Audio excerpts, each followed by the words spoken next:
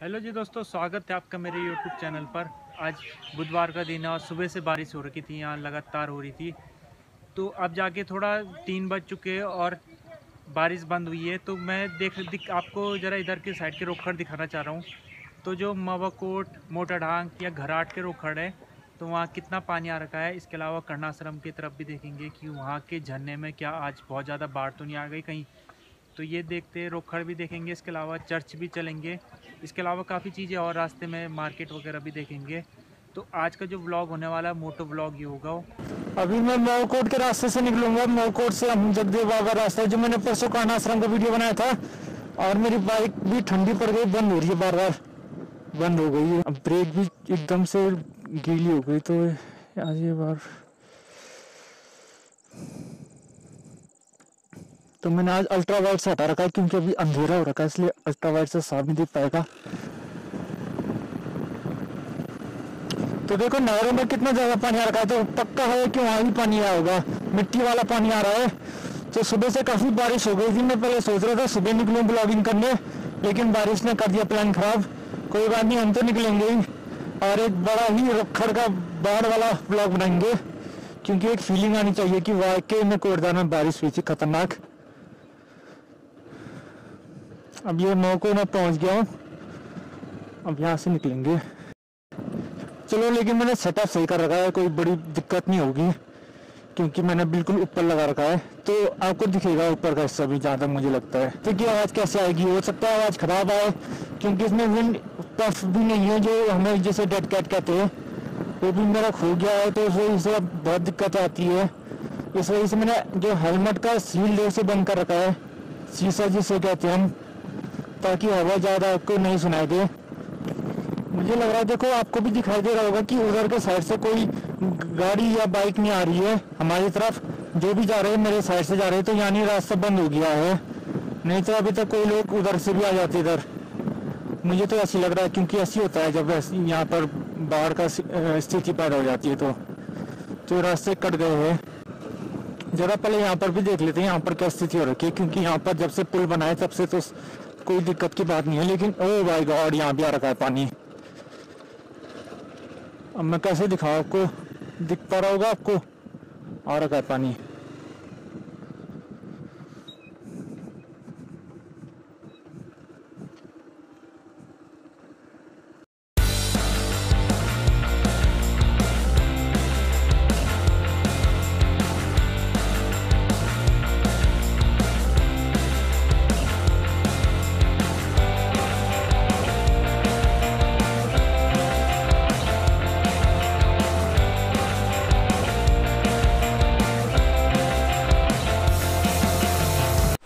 तो क्या करें यहाँ पर? ज़रा यहाँ से क्रॉस कर लेते थोड़ा। एक हिस्से मैं फ्रंट कैसे कर रहा हूँ और ये मेरा आगे का रिकॉर्ड करेगा। ताकि आपको फीलिंग आ जाए कि पानी कैसा रखा है। तो चलते थंबनेल भी बन जाएगा इसी बहाने।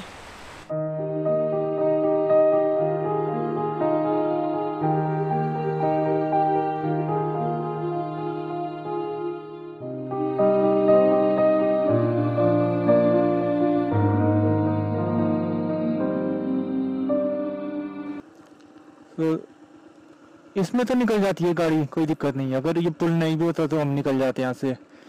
लेकिन ये तो शुरुआत, अभी तो बरसात शुरू हुई है बाबू। मैं आप सबसे रिक्वेस्ट करना चाहता हूँ कि रोखड़ में मत जाना।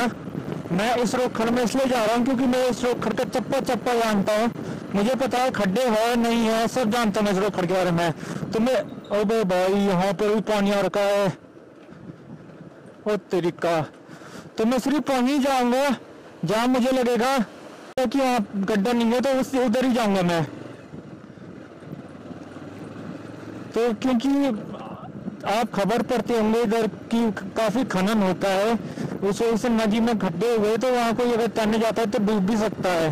तो इसलिए रोखड़ से मैं, मेरे ही वीडियो को बनाने का मकसद सिर्फ़ एंटरटेनमेंट है साथ में आपको थोड़ा बताना भी चाहता हूँ कि ये स्थिति कोरदार में रोखड़ों की कैसी है।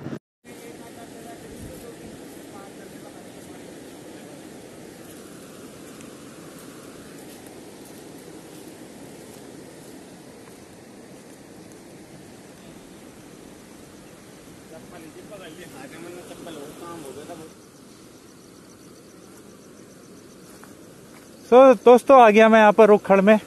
अब जरा आपको दिखाते हैं। ओ भाई कितना ज़्यादा पानी आ रखा है।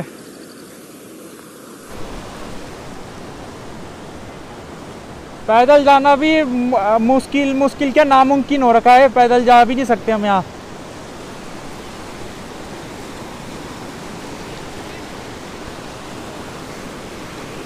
बहुत मिट्टी वाला पानी जब एकदम से बारिश आती है उससे बाढ़ इस तरीके से पानी आता मिट्टी लेके। नहीं तो यहाँ पर ऐसे साफ़ भी पानी आता है जिसमें नहाते लोग। तो ये पुल भी देखो, पुल का काम इसीलिए हो रहा है ताकि यहाँ से ऐसी बारिश आ जाए तो पुल से लोग जा सके। लेकिन पुल अभी वन थर्ड काम बाकी है इसका। एक भैया और आ गए, लेकिन नहीं निकल पाएगी।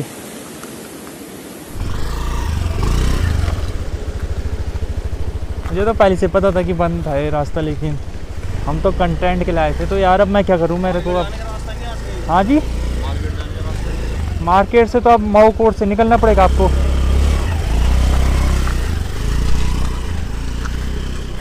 चलो आपको मैं अब दूसरे जगह ले जाता हूँ, दूसरी नदियों में ले जाता हूँ। वहाँ भी देखते कितना पानी आ रखा आज। चलो, कर्णाश्रम चलते दोबारा।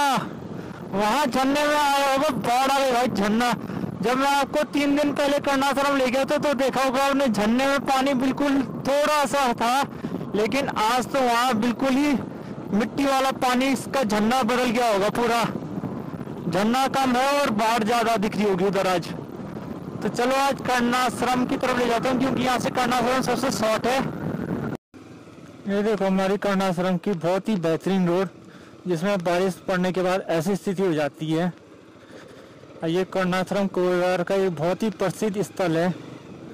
और इस प्रसिद्ध स्थल की रोड देखिए आप, यहाँ अभी इधर के साइड पानी नहीं आया। वैसे आता है, इधर भी आता है पानी, बरसात में बहुत ही ज़्यादा पानी आ जाता है। यहाँ से तो पानी आता ही है, शायद ऊपर से पहाड़ियों से भी पानी आ जाता है यहाँ पर। तो देख रहा हूँ, काफ़ी सूखा हुआ है अभी इधर। अब वजह क्या है, मुझे नहीं पता है क्योंकि मेरे हिसाब से तो आना चाहिए था इधर भी पानी। जब सभी जगह रखा है तो।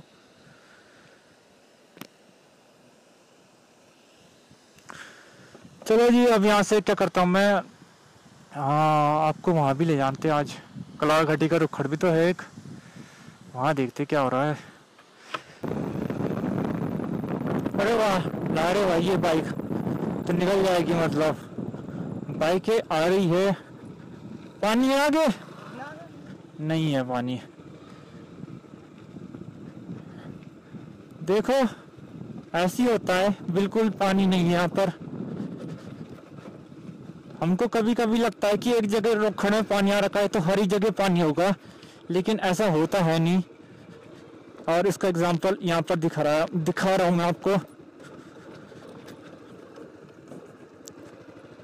अच्छी बात है, पानी नहीं है तो।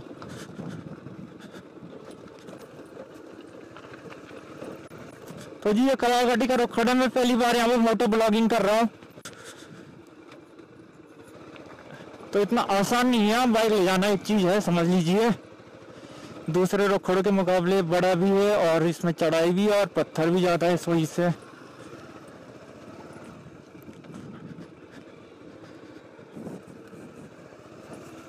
थोड़ा बहुत तो रखा है पानी।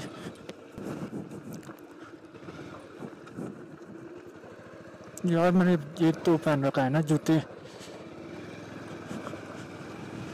चलो। जय बजरंगली चलो निकल गए हम इस खर्चे भी पार हो गए। अच्छा लगा यहाँ बाइक ले जाते हुए। अच्छा मैं आपको एक चीज़ इम्पोर्टेंट बताता हूँ यहाँ पर, जो है ध्यान देना है हमें आगे। जब बरसात में बारिश पड़ेगी तो वो ये है कि खड्डे हो रखे बीच में। आपको दिख भी पा रहा होगा। जो एक यहाँ से छोटा दिख रहा है ना, ऊपर ऊँचा उठा वाला भाग। तो वो उठा कैसे? है उठा इस वजह से क्योंकि यहाँ से रेत बजरी ले गए, ट्रकों में भर के, डंपर में भर भर के, ट्रैक्टर में भर के। जिस कारण वो कुछ भाग दब गए, कुछ भाग जो जहाँ पर खनन नहीं हुआ, उठ गए उठ, उठे हुए लगते हैं हमें वो।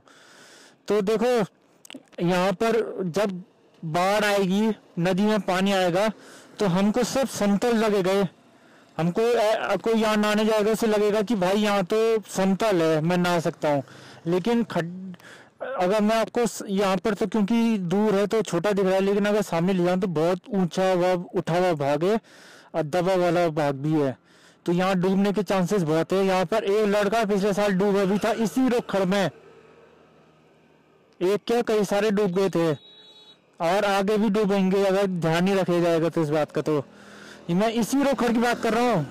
कोटद्वार में ऐसे रोखड़ों के कई सारे स्थिति हो रखी है, लेकिन मैं इस रोखड़ की स्पेशली बात कर रहा हूँ, क्योंकि मुझे इस खबर के बारे में पता है कि यहाँ पर एक व्यक्ति डूबा था नहाते समय।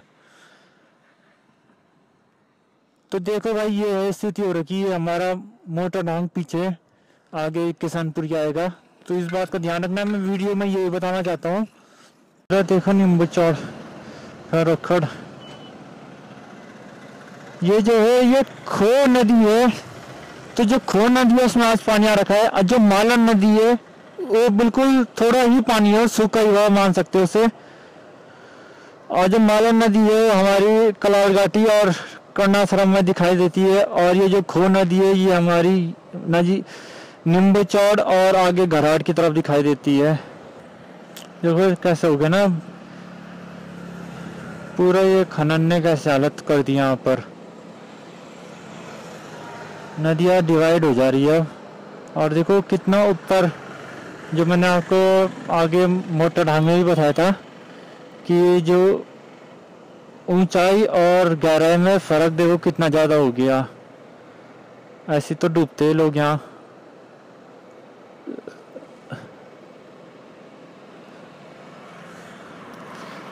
ये जो नींबू चौड़ का पुल है ये हमारा। बच्चे अभी भी जा रहे भाई वहाँ। तो दोस्तों, वीडियो ख़त्म भी हो गई, क्योंकि मैंने शुरू और ख़त्म एक ही स्पॉट में कर रहा हूँ। तो ये वीडियो पसंद आएगी तो वीडियो को लाइक कमेंट और चैनल सब्सक्राइब कीजिएगा और उम्मीद कीजिएगा कल बारिश ना हो, क्योंकि बारिश होगी तो हमारा काम जो होते हैं वो अधूरे रह जाते हैं। मेरा भी ब्लॉग नहीं बन पाता है। और अब शाम हो गई तो देखो यहाँ मोटर, मवा कोर्ट में भी काफ़ी लोग खेलने लग गए, पीछे भी खेल रहे वॉलीबॉल खेल रहे तो थैंक यू आपका वीडियो देखने के लिए।